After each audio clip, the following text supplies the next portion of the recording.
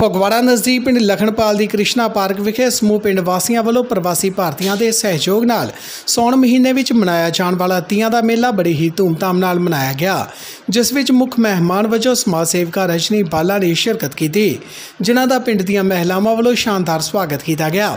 ਮੇਲੇ ਦੌਰਾਨ ਜਿੱਥੇ ਵੱਡੀ ਗਿਣਤੀ ਵਿੱਚ ਮਹਿਲਾਵਾਂ ਤੇ ਲੜਕੀਆਂ ਨੇ ਸ਼ਮੂਲੀਅਤ ਕੀਤੀ, ਉੱਥੇ ਹੀ ਮਹਿਲਾਵਾਂ ਤੇ ਲੜਕੀਆਂ ਵੱਲੋਂ ਪੁਰਾਤਨ ਵਿਰਸੇ ਦੀ ਯਾਦ ਨੂੰ ਤਾਜ਼ਾ ਕਰਦਿਆਂ ਗਿੱਧਾ, ਭੰਗੜਾ, ਬੋਲੀਆਂ, ਕਿਕਲੀ ਤੋਂ ਇਲਾਵਾ ਹੋਰ ਆਈਟਮਾਂ ਵੀ ਪੇਸ਼ ਕੀਤੀਆਂ ਗਈਆਂ।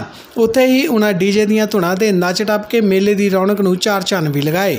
ਅੰਤ ਵਿੱਚ ਮੇਲੇ ਦੇ ਪ੍ਰਬੰਧਕਾਂ ਵੱਲੋਂ ਪ੍ਰੋਗਰਾਮ ਵਿੱਚ ਹਿੱਸਾ ਲੈਣ ਵਾਲੇ ਸਹਿਯੋਗੀਆਂ ਨੂੰ ਸਨਮਾਨ ਚਿੰਨ੍ਹ ਦੇ ਕੇ ਸਨਮਾਨਿਤ ਵੀ ਕੀਤਾ ਗਿਆ।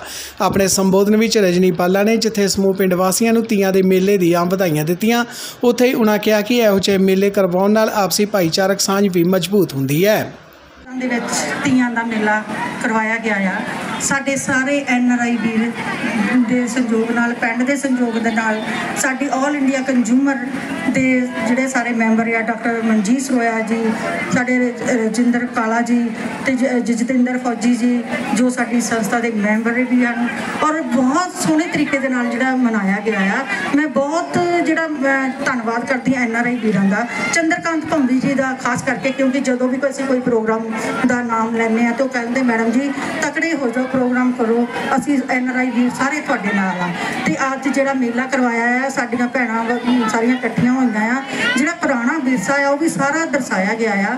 ਮੈਂ ਚਾਹੁੰਦੀ ਆ ਕਿ ਜਿਹੜਾ ਮੇਲਾ ਹਰ ਸਾਲ ਤੀਆਂ ਦਾ, ਇੱਥੇ ਇੱਕ ਮੰਚ ਦੇ ਉੱਤੇ, ਅੱਜ ਪਹਿਲੀ ਵਾਰ ਮੈਂ ਦੇਖਿਆ ਕਿ ਜਿਹੜੇ ਆਡੋ ਫਾਟ ਹੋਏ ਵੀ ਲੋਕ ਸੀ, ਅੱਜ ਇੱਕ ਮੰਚ ਤੇ ਇਕੱਠੇ ਹੋਏ ਇਹਨਾਂ ਐਨ ਆਰ ਆਈਆਂ ਵੀਰਾਂ ਦੀ ਬਦੌਲਤ। ਮੈਂ ਕਦੀ ਵੀ ਇੰਨਾ ਇਕੱਠ ਨਹੀਂ ਕਦੀ ਦੇਖਿਆ ਜਿੰਨਾ ਇਕੱਠ ਅੱਜ ਤੇ ਲਖਨਪਾਲਾ ਪਾਰਕ ਚੈਕ ਸ਼੍ਰੀ ਕ੍ਰਿਸ਼ਨਾ ਪਾਰਕ ਵਿੱਚ ਹੋਇਆ। ਇਸ ਦੌਰਾਨ ਮੇਲਾ ਕਰਵਾਉਣ ਵਾਲੇ ਪ੍ਰਬੰਧਕਾਂ ਨੇ ਦੱਸਿਆ ਕਿ ਇਸ ਮੇਲੇ ਦੇ ਕਰਵਾਉਣ ਦਾ ਮੁੱਖ ਮਕਸਦ ਅੱਜ ਦੀ ਨੌਜਵਾਨ ਪੀੜ੍ਹੀ ਨੂੰ ਆਪਣੇ ਮੀਰ ਵਿਰਸੇ ਪ੍ਰਤੀ ਜਾਣੂ ਕਰਵਾਉਣਾ ਹੈ।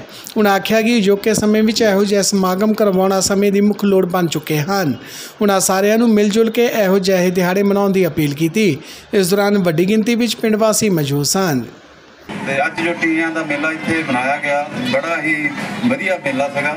ਆ ਸਾਰੇ ਪਿੰਡ ਨੇ ਇਹਦਾ ਬਹੁਤ ਇੰਜੋਏ ਕੀਤਾ ਤੇ ਸੋ ਮੈਂ ਬੜਾ ਹੀ ਧੰਨਵਾਦੀ ਆ ਇਹਨਾਂ ਦੇ ਵੀਰਾਂ ਦਾ ਵੀ, ਜਿਨ੍ਹਾਂ ਨੇ ਸਾਨੂੰ ਬਹੁਤ ਸਾਇਸ਼ ਕੀਤਾ ਵੀ ਇਦਾਂ ਦੇ ਮੇਲੇ ਤੁਸੀਂ ਪਿੰਡਾਂ ਦੇ ਵਿੱਚ ਕਰਾਓ।